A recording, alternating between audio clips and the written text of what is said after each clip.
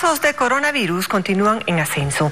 Las autoridades sanitarias informaron que ya son 13 las personas que han dado positivo a la enfermedad.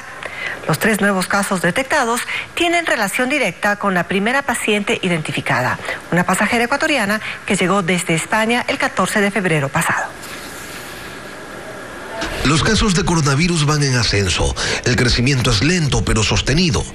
Ayer eran 10, pero eso fue ayer. A las 9 y 30 de la mañana de este jueves el Ministerio de la Salud informaba que los casos de coronavirus en Ecuador ascendieron a 13.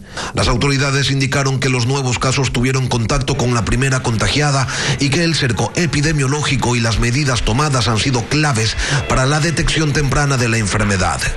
El coordinador de salud, Augusto García, contaba qué es lo que tiene que pasar para que se considere que el país se encuentra ya en el tercer escenario el de contagio comunitario. En el momento que tengamos algún caso positivo en algún punto de la ciudad y que este no haya tenido que ver con, con los contactos nuestros o que, ha venido, que no haya venido de, de, viaje de, alguna, de algún país donde existe la enfermedad. Por otro lado, el ministro de Inclusión Social, Iván Granda, recorría espacios de socialización y encuentro para personas adultas mayores.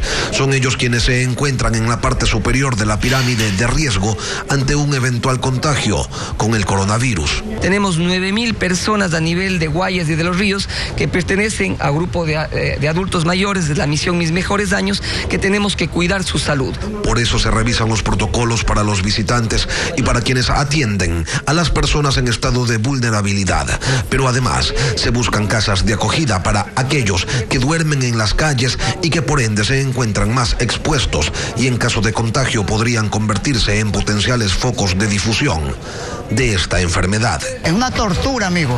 Eso le compartí con el ministro para que nos colabore, nos ayude, por favor.